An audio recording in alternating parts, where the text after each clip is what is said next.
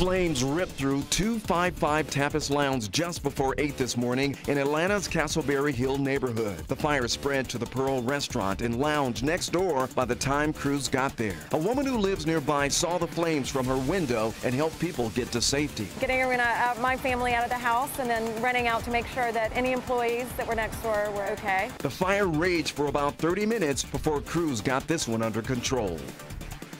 Search warrant served in a dive boat fire that killed 34 people. California investigators searched the Truth Aquatics offices in Santa Barbara and the company's two remaining boats today. The dive boat burned and sank last Monday. The victims were sleeping in a bunk room and flames blocked the escape route. The boat's captain and crew were the only survivors.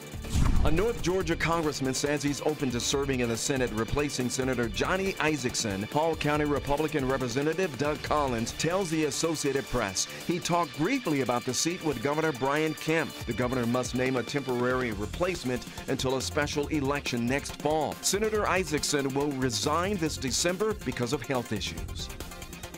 Challenging the president, a third Republican is now in the 2020 race. Former South Carolina Congressman Mark Sanford will formally launch his bid for the White House later this week. Sanford has long been an outspoken critic of President Trump. Former Massachusetts Governor Bill Weld and former Illinois Congressman Joe Walsh are also seeking the Republican nomination.